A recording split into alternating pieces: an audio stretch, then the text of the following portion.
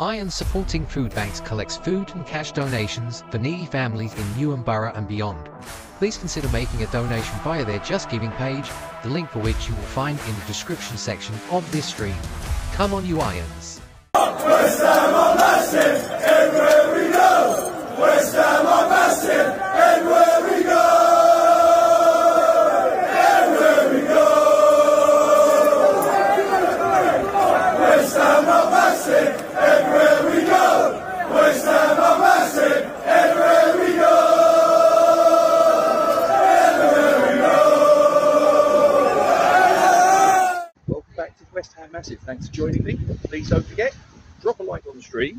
comment on it in the section below on what your thoughts are on the discussion topics I'm going to bring to your attention. Make sure you uh, share this to your social media platforms, subscribe to the channel, hit the bell icon so you the notifications, any new stuff on the channel. So, um, also, before I get into that, obviously this is GCSE results day. My daughter will be one of many children picking up their GCSE results if your child or grandchild or anyone that's near and dear to you around the age of 16 is picking up their GCSE results, I wish them the very best of luck. It's a big day for them. So I hope it all goes well. So, three stories I want to get my teeth into today. Again, as much audience participation as possible in the comment section below. So, the first story is regarding the young Brazilian left-sided centre back by the name of Zhao. Now, Zhao came into the West Ham fold around about 18 months ago. There was a bit of, I wouldn't say it was a, you know, a, a lot of fanfare, I wouldn't say, but there was there was a few noises about the signing at the time. Obviously, he came in from, I think it was Sao Paulo from memory, um, and he, he's come in. He joined the academy setup. He's still only, I think he was only about 20 at the time, 19, 20. And do excuse us, but just on the dog walk, you probably worked it out. And just as we always go past this spot, and there's usually a bark that comes from up there, um, having a pop at my my dog. Anyway, where was I? Luizão. So 18 months ago, he comes in or thereabouts. Comes in from, as I say, I'm pretty sure it was Sao Paulo. So he's left-sided centre, left-footed centre back. He's played in the academy. As yet, he's not made a first-team appearance. I'm pretty sure he's not even been in the squad from memory. He might have been in one or two, uh, but he's he's definitely not played a singular minute of first-team football as we speak. And it looks like it's one of those failed experiments of a getting a player in, seeing how they go, and it doesn't really work out. And there's been many that I can think of down the years, players that we've got in from another club, sometimes in this country, sometimes a bit further afield, like this, where we've got them in and we think, oh yeah, this this will be a this will be a winner, and it's not. I mean, I dare say he'll probably go back to Brazil. He'll he'll be a half decent player, but it looks like it's it's not going to work out. It looks like he's going back to Brazil, and there's conversations that are going on. It looks like it will initially be a loan to begin with, uh, with some sort of option or obligation to purchase at the conclusion of it. And I think the sticking point, from what I understand, is that West Ham are trying to insert, and it's quite a common thing these days, uh, like a sell-on. So apparently that's a consternation with the, uh, the clubs that we're negotiating with. But yeah, it's a shame. But you know, he's not really sort of grabbed the opportunity like he should have done. And like, like it's going to change anytime soon. Obviously, this is the new manager. Now, he's the manager, Julen Lopetegui, help. So he's obviously got different ideas. He's had a look. He's decided it's not for him. Wish him good luck. It's a shame it never worked out, but it is what it is. Another player that looks like we'll be moving on is, uh, and this is a first team player, another centre back, right footed centre back this time, and that is the much mentioned, as far as departure is concerned in recent times, Konstantinos Mavropanos. His friends call him Dinos. Obviously came in last season in the summer transfer window. He um, came from Stuttgart in the Bundesliga.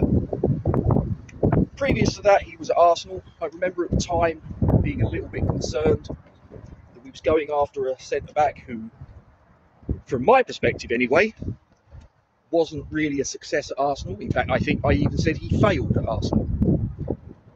I still hold that viewpoint. He's obviously come into West Ham, and whilst I'm not going to say he's failed, he's not been a rip roaring success either. He's he's done okay. I mean, he'll have one moment that he'll, he'll always be remembered for scoring one of the two goals in a 2 0 win at the Emirates last season. Headed goal from a, I think it was from a, is it a Jarrod Bowen corner or was it James Ward Prowse corner? It was a corner anyway. I was there, I was stood right while the corner was being taken that night. Great night, great moment. Um, but unfortunately, is the only thing great about his time at West Ham. And it looks like it may well be that he's going back from where he came, Stuttgart. Again, yeah, I mean, look, we need to balance the books. We need to get some money in. We need, I mean, this Carlos Soler thing, I, I'm led to believe hinges on trying to get some players out the door.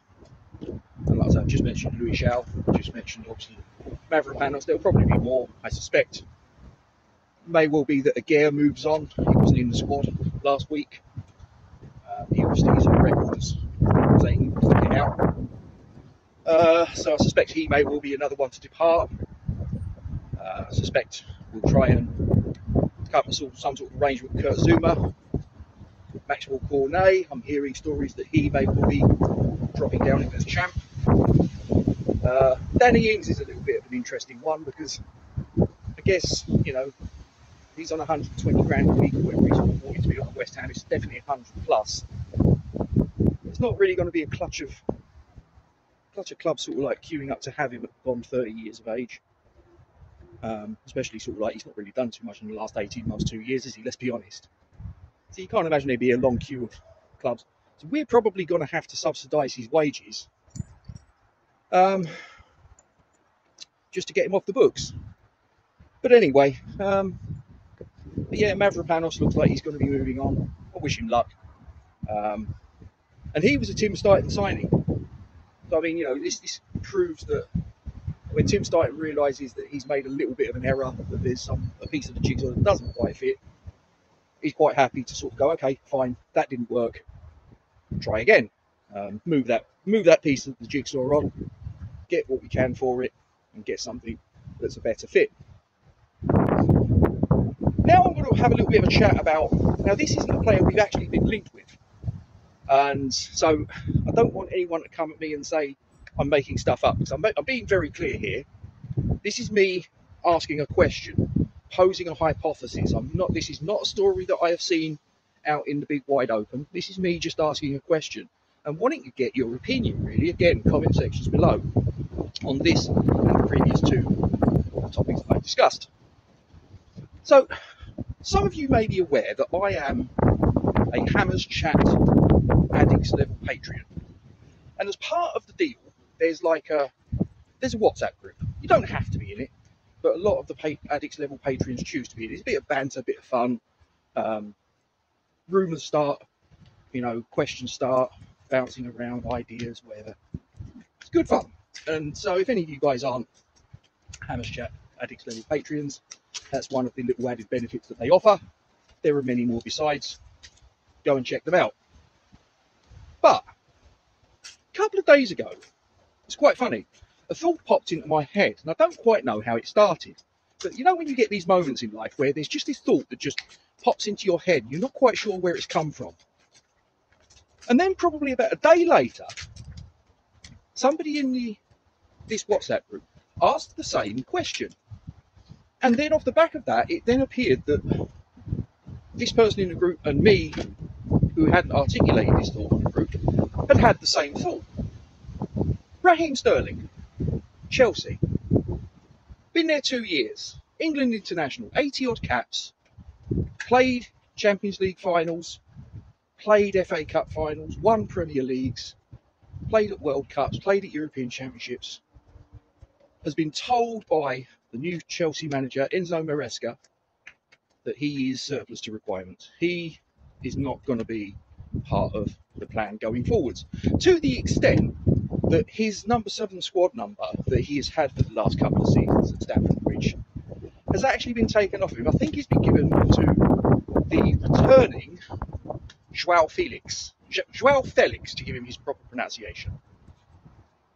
So it's basically the writings on the wall for Humes. You, you need to get a new club. Now, I wonder whether there is any possibility that he could be someone that West Ham might look at and go, hmm, let's just, just there are going to be some pros and cons here. So again, this is why I want your, your opinions on it. Um, 29 years of age, he's, he's around the peak of his powers, I would suggest.